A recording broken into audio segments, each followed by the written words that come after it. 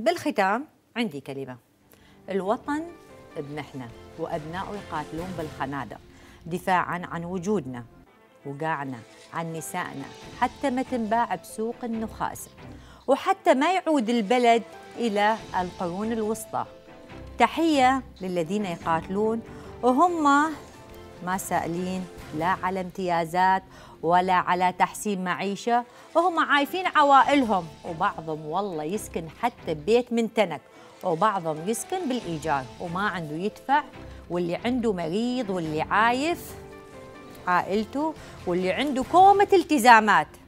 دعوة الكل أصحاب الهمة والإحساس واللي عنده محاسيس حية.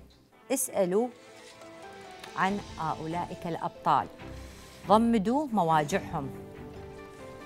ضمدوا مواجعهم.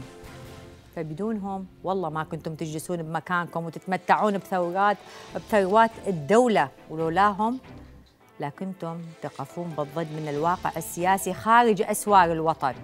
المطلوب اليوم من الكل يوقف ويا هؤلاء الأبطال.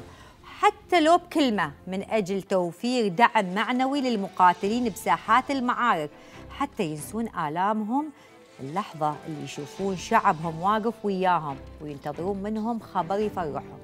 والله ننتظر خبر يفرحنا وإن شاء الله الفرحة على إيد قواتنا الأمنية وحشدنا الشعبي وأبناء عشائرنا الأبطال.